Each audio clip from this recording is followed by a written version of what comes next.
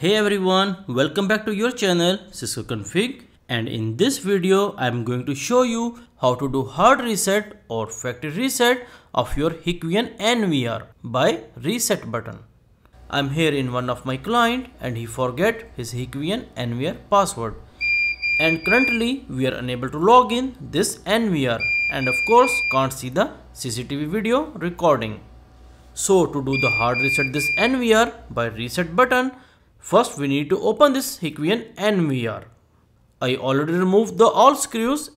Here you notice this NVR is power on and all cables are connected. Now carefully look at the motherboard.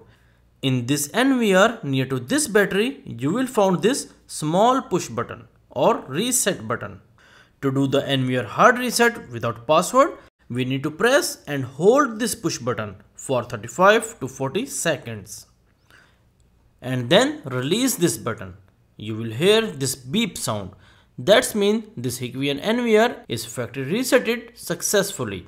And after it rebooted on screen, it will allow you to set the new password on this Hikvision NVR. So like this way, you will hard reset or factory reset of your Hikvision NVR without password by reset button.